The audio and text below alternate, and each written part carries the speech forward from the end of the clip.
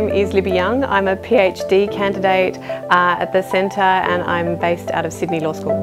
My PhD is on the question of how we should govern personal data.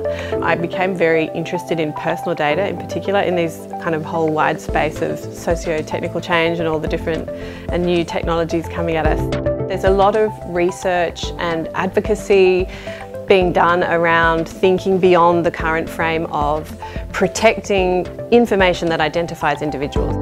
That's very important. It's not the only question around how we should govern personal data, so I'm looking at more collective and social questions.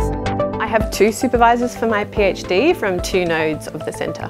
Governance is very interdisciplinary, so I have media and communications from Mark Andrejevic down at Monash, and then that um, law context from Kim Weatherall here at Sydney Law School.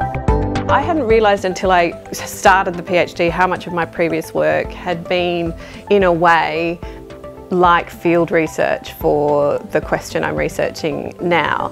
I was privileged to work with the Red Cross organisation Humanitech, which is a partner organisation of the centre, looking at how new technologies or frontier technologies can be used to improve equality and support people in vulnerable situations.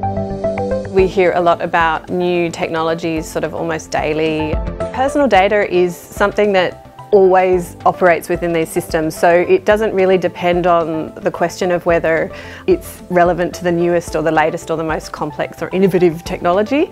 It's always a question. So societies need to understand how these systems work and decide how we want to use them and govern them. So it's really important that we continue to do all of this research um, and make sure these questions are answered by democracies and not by um, you know, technocrats.